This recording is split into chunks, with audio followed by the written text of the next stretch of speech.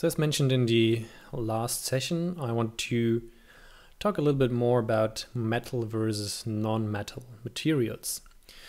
So there's basically a difference on how light is reflected based on whether we have a material which is made out of metal or which is made of a material which is not metal. It's actually that simple. We basically just have those two kind of materials in our world, metal materials or non-metal materials. Of course, there are more materials than this in this world, but we can categorize it in this kind of way. And all non-metal materials are called dielectric materials, and materials which are made of metal are called also conductive materials. So it's basically if they can conduct electricity, they're conductive. If they cannot, they are dielectric. And um, yeah, that's that's basically it. So if you have glass, if you have plastic, paper, wood, ceramics, these are all materials which cannot conduct electricity, electricity and thus are non-metal materials. And all other materials like gold, um, aluminium, copper, etc., they are materials which can uh, conduct electricity and therefore are called metal materials or defined as metal materials. And the difference between those two is that they have a different behavior on how they reflect light. And we can actually measure the amount of light they reflect. And this is called the index of refraction. And we can measure this kind of reflection. So let's say, for example, we have a light ray which comes in at 45 degrees. A little bit of those light rays will be bounced off of our surface and will be reflected and a small amount of this, this light will be absorbed by our material and will be refracted into the inside of our material. And we can define the, this amount of refraction by a percentage or also by a value. So for example, let's say that in this kind of scenario with this kind of material, we have about a 20% reflectance value or also 0.2 or the, the, the index would be 0.2. Now, for example, um, on another given angle, we have, for example, a lot of um, reflection in our material. So a lot of light will be reflected. And this we can define by a value which is, for example, 0.85. And if we now use this kind of measurements and measure different materials and categorize them as dielectric materials and conductive materials, we can plot this kind of um, angle of incidence we saw over here. So this kind of angle we shoot our light rays onto our surface area. We can kind of change this from 0%, which would be super flat, up to 90%, which would be perpendicular to our surface area. And then we can measure the amount of light which is reflected and uh, refracted and plot that on our chart. And we call this then the, the amount of reflectance and give this kind of value on the y-axis and the angle of the incident of the light is plotted on the x-axis. And as you can see now, for example, with dielectric material, materials, you can see that when we increase the angle of incidence, you can see that for a long time, depend, independent of the angle of the light, there is no reflection going on at all. So no light is reflected and a lot of light is absorbed. Only if we have a very steep angle going on, you can see that the amount of reflectance suddenly goes up by a lot. And if we have an angle where the angle of incidence is 90 degree um, to the normal of our surface, we have actually 100% reflection. So let's go back to this illustration. So what we mean with the angle of incidence is again this kind of angle. And if we shoot a light ray right from the top perpendicular to our surface, then this would mean uh, an angle of 0%. And if we would have, would go down to 80% or 90%, that would actually be the angle of incidence of about 80%. So the steeper, or basically the flatter the angle of our light ray, of our incoming light ray is, um, the higher the angle of incidence. So again, as you can see, for a long amount of time, basically no, no, light is reflected or only a very tiny amount of light is reflected from our surface. And then only at the end, at steep angles, light gets reflected. And this is for dielectric materials. And now as you can see on the right side, conductive materials behave quite a bit different. We have, independent of the angle, always a lot of reflectance going on. There's a interesting little drop over here, but that's not too important if we have a very like steep angle um, to our surface. So the amount of reflection actually goes down a little bit and then it goes shoots up again a little bit. So for conductive materials, we always have a lot of reflectance going on. And this is probably because metal materials are much harder and denser on an atomic level, and thus they reflect or bounce off much more light than a dielectric material would do.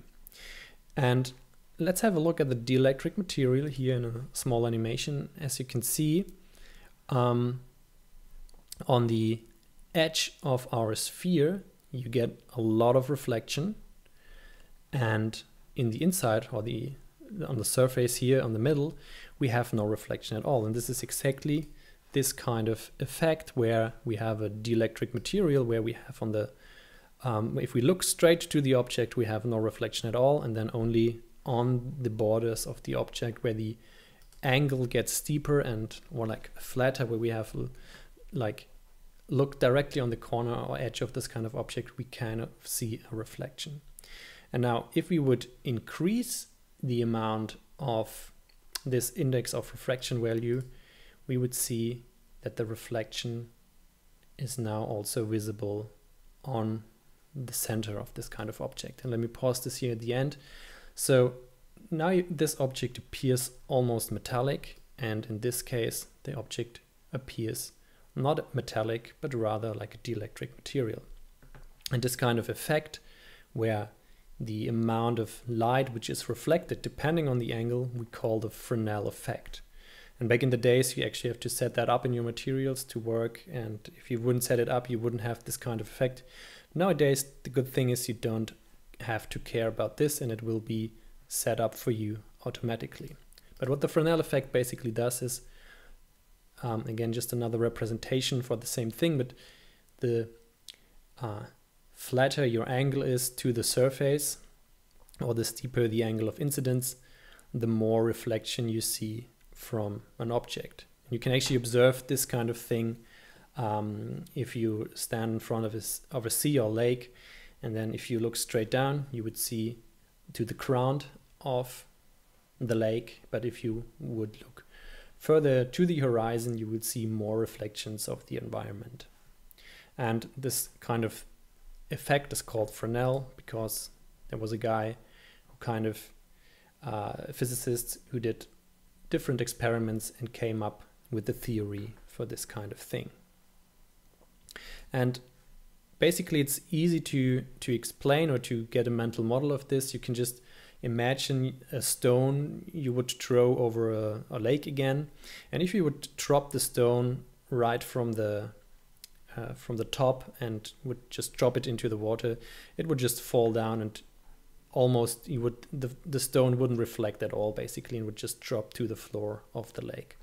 But if you change the angle and make it like flatter to the surface of the water, more or the, the stone will be reflected more and more and the steeper I always say steeper, but I mean like the, the flatter the angle gets to the surface, the more the stone will be reflected. And it's the same thing for light uh, on your materials. So if light hits your surface perpendicular, a lot of light will be absorbed, only a small amount will be reflected. And if you um, move this kind of hitting angle closer to the surface angle, then more light will be reflected. Now, a lot of theory, I know, but um, it's important to kind of know why we have this kind of difference. And now let's go back into Cinema 4D and let's have a look at two different kind of materials. So I now have another sphere over here and I will apply a new material on our first sphere. Let's change the camera a little bit here. And now as you, or as we open up one of the materials, let's go with the dielectric materials first and let's call it like this. So this would be dielectric. And this is now put to the mode non-metal. I can also get rid of the clear coat maybe, for example, go back to the base layer and make this a little bit more rough. So this is now a material, could be a plastic, for example. And as you can see, we have next to this a material which appears to be like gold. And let me open this up. So this would be a conductive material. And let's go to the general tab over here and you can see now it's put to the mode metal. And by this, Corona knows that it should render this kind of material as a metallic material. And we have bit of different settings over here for metal material. We cannot change this index of refraction value anymore, um, but we have instead something like the edge color. But you can, in most cases, leave this just to 1. And by this color, we can define how the kind of object should reflect certain amounts of light. But as you can see, it's a very subtle effect. If I make this white, you see we can get a little bit more of a white effect down here. If I make it red, you can see right on the edges we get a little bit more of a color tint. But still again, as with the default non-metallic version, the main color of this material will be defined by this color setting over here. Okay, let, let's get this back to where it was. Um, so we have this kind of, uh, have gone back too far. We have this conductive material. And we have this dielectric material. One thing to notice about the difference of those kind of materials, if I make this glossy again, if you have a closer look on the material, you can see that the light which is reflected is actually the real colors of the environment. So it's not tinted, it's not yellowish. It appears a little bit like this, but it's actually not. It's like full spectrum reflected, all colors are reflected by this kind of dielectric material. And that's always the case for dielectric materials. All colors will be re reflected. In comparison to that, we have this gold metal material and metal materials are actually able to tint the color of the reflection. And this will, as you can see, tint our reflection a, bit, a little bit yellowish. Let me try to increase the IOR value over here. So it's a little bit uh, different with how the values of the I, IOR index of refraction uh, are used in Corona. Um, but basically what you can define with this is the amount of or the intensity of the reflection. And as you can see now, if I turn this to the maximum value, we get a more intense reflection on our material and it almost appears a little bit metallic now. So I would keep it always at 1.5 if you don't want to do kind of a mixed uh, material. But as you can see now more clearly is that the blue, uh, the sky is blue, the trees are green, the street is gray. And if you compare that to the conductive material, you can see that everything is tinted um, by the golden metal material. Okay, so that's the main difference for materials. You have to pick if it's a non-metal material or if it's, it's a metal material. Um, and last but not least, just one thing, of course, in the metal material, you can also change the amount of roughness to make it appear different. And Again, we can also now apply a clear coat layer to this.